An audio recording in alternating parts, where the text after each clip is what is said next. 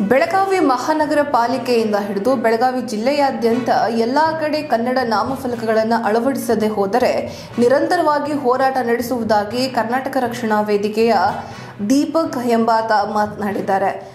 ಎಲ್ಲೆಲ್ಲೂ ಮರಾಠಿ ಮಯವಾಗಿಬಿಟ್ಟಿದೆ ಅಥವಾ ಇಂಗ್ಲಿಷ್ ಮಯವಾಗಿಬಿಟ್ಟಿದೆ ಹೀಗಾಗಿ ಇದನ್ನು ಕಿತ್ತೆಸೆದು ಮೊದಲು ಕನ್ನಡ ನಾಮಫಲಕಗಳನ್ನು ಹಾಕಬೇಕು ಅನ್ನುವಂತಹ ಅಭಿಪ್ರಾಯವನ್ನು ಅವರು ವ್ಯಕ್ತಪಡಿಸಿದ್ದಾರೆ. ಬನ್ನಿ ಹಾಕಿದ್ರೆ ಯಾವ ರೀತಿ ಬೇಡಿಕೆಯನ್ನ ಇಟ್ಕೊಂಡು ಅವರು ಹೋರಾಟ ನಡೆಸ್ತಾ ಇದ್ದಾರೆ. ನೋಡೋಣ.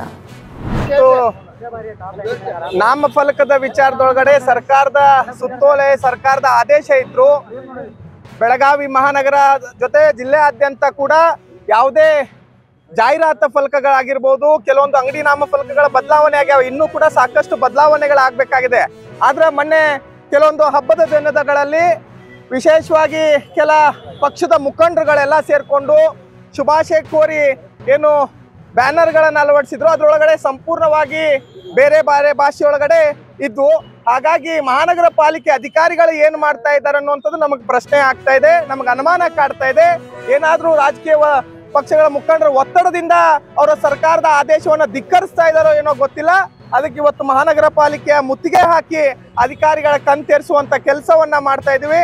ಅದಕ್ಕೆ ಇವತ್ತು ಒಂದು ಇವತ್ತು ಒಂದು ಇವತ್ತು ಒಂದು ಎಚ್ಚರಿಕೆಯನ್ನು ಮಾನ್ಯ ಜಿಲ್ಲಾಡಳಿತಕ್ಕೆ ಮಹಾನಗರ ಪಾಲಿಕೆಗೆ ಎಚ್ಚರಿಕೆಯನ್ನು ಕೊಟ್ಟು ಗಡುವು ಕೊಡ್ತೀವಿ.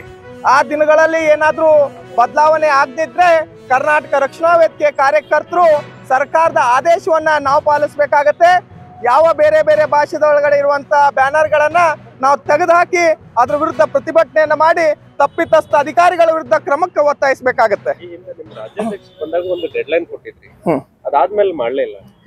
ಸಂಸದರ ಚುನಾವಣೆ, ಎಂ ಪಿ ಚುನಾವಣೆ ಬಂತ ಅಂದ್ಕೂಳೆ ನಮಗೂ ಕೂಡ ಸ್ವಲ್ಪ ಸಾಕಷ್ಟು ಹಿರಿಯ ಅಧಿಕಾರಿಗಳು ಇಲ್ಲ. ಚುನಾವಣೆ ನಂತರ ನಾವೆಲ್ಲ ಅದನ್ನ ಬದಲಾವಣೆ